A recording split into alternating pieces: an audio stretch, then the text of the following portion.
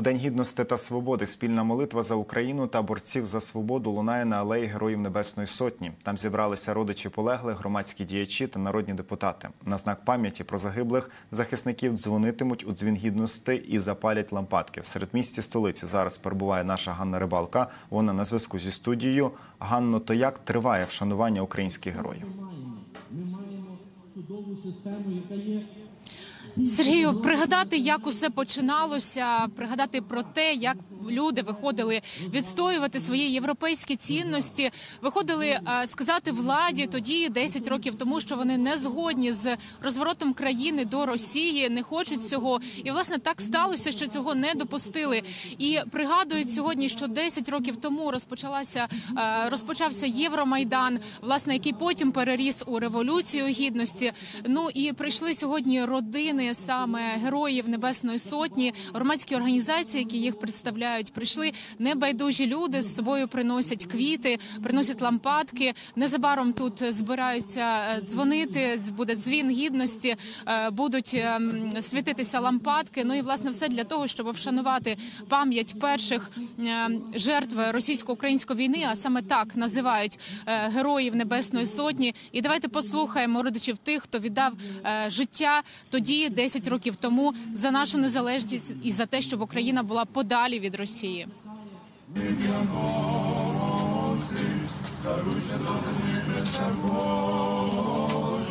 Для нас це е, дата значима, тому що, як каже східна філософія, без минулого немає майбутнього. І 21 число Революція Гідності показала, що українці це можуть об'єднатися, самоорганізуватися. Люди зрозуміли, що ми є Україна незалежна, вільна, і ми маємо боротися за своє право, за свою гідність і честь. Е, Велика пошана всім, хто прийшов все-таки шанувати, якби і пам'ять, але нас більшість сьогодні початок революції гідності це початок відстоювання нашої свободи і незалежності. народ. Він як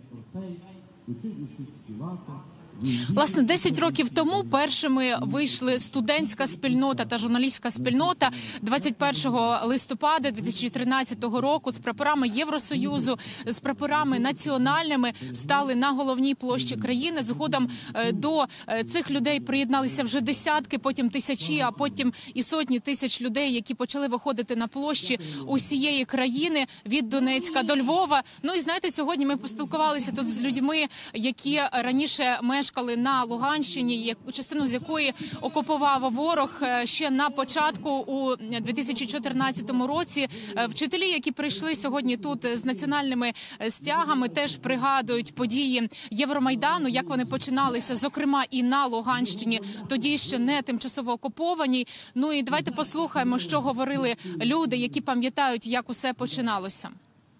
Наш е, острівок свободи зменшився до невеликої площі в центрі цього міста. От і зараз, попри ті страшні втрати, першими з якими була якраз небесна сотня, ми таки розширюємо цю свою- свободу. За цим ми спостерігали, скажімо так, з далекої Луганської області. Серед мо- нашого кола, серед педагогів, ми, ми вчителі Луганської області, була підтримка е, наших м, борців за свободу однозначна, і це ми несли до, до своїх дітей.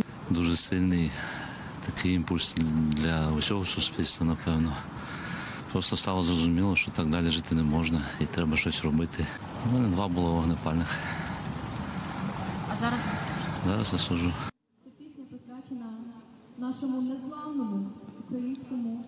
Ну от е, те, що сьогодні говорили люди, також зібралися тут і народні депутати, е, представники різних громадських організацій, зокрема, звісно, і учасники безпосередньо революції гідності. Чимало з них зараз е, перебувають на фронті, на передовій. Чимало з них відправилися туди ще у 2014 році, щоб там продовжити боротьбу з російським ворогом. Ну і також скажу, що сьогодні заходи продовжаться тут на алеї Небесної Сотні. Вони ще тривають, будуть запалювати тут лампадки. Ну а ввечері в українському домі також заплановані ем, заходи до початку е, Євромайдану. Ну і скажу, що е, учасники, які сьогодні приходять, ще також нагадують українцям, що сьогодні відзначають не лише 10 років початку Євромайдану, а й 19-ту річницю від помаранчевої революції. Сергію, тобі слово.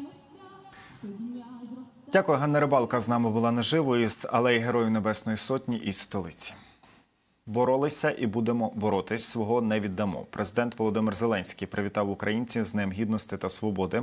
Чільник держави наголосив, боротьба триває, і тільки від нас залежить, чим вона завершиться. Щоразу, коли у нас хочуть щось відібрати, нас проти цьому стає все більше і більше людей. Коли барикади Майдану змінюються на окопи Донбасу.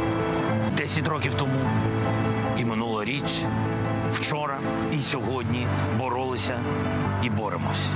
І в центрі столиці тоді, і на околицях Бахмута тепер, на Грушевського тоді, і під Харковом, під Херсоном, під Авдіївкою зараз. Хто не боявся і не боїться виходити за свободу, загорнувшись в український прапор.